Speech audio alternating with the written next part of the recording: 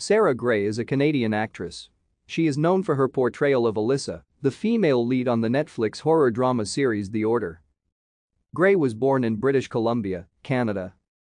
Grey has appeared on shows such as Almost Human and Bates Motel playing young Norma Bates.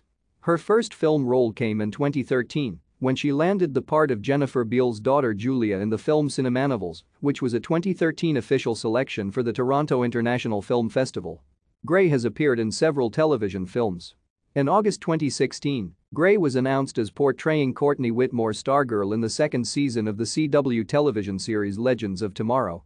In April 2018, Grey was cast in the Netflix horror drama series The Order, playing the female lead Alyssa Drake. Thank you for watching. Like and subscribe if you would like to view more of our videos. Have a nice day.